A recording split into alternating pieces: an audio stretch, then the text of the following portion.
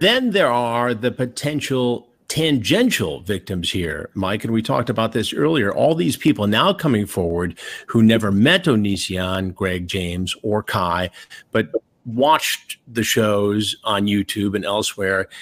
And because of the content, tell us now in emails and this reporting that when they were young, it became normalized to have inappropriate relations with older men and women. Yeah, I, and so you, you, what responsibility lies there in a civil suit? Or I mean, is that is that YouTube's responsibility more so than you know if you're creating content and YouTube's allowing it to go on the air, and we now have evidence that young people are watching it and they think, oh, because this person's on YouTube, because this person is a star, uh, they then enter into these relationships with much older men and then they report to us that they have damages, that they are emotionally you know distraught that they are, are having they're having to see therapists. They have it's it's creating lots of psychiatric problems and they're on medications because of the YouTube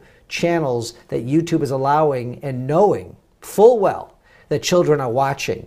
I have never litigated a case like that and Should YouTube be held accountable here in a court of law in a civil? That's that's the million dollar question. I mean, I, it's still mind blowing that they allow him to do what he does, and I'm sure there's lots of other channels that that should be censored that shouldn't be on there.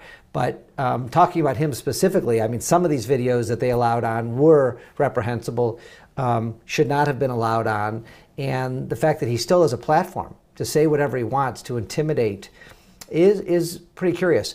YouTube is not responding for interview requests. YouTube, I think, had some interaction with you early on, and then they just kind of stopped. So they don't want to have, they don't want to take responsibility. They're not kicking him off. And then, you know, listen, what if he gets charged? Are they going to kick him off then? Like, there's lots of things that are in my head. You know, where, where's this going to stop?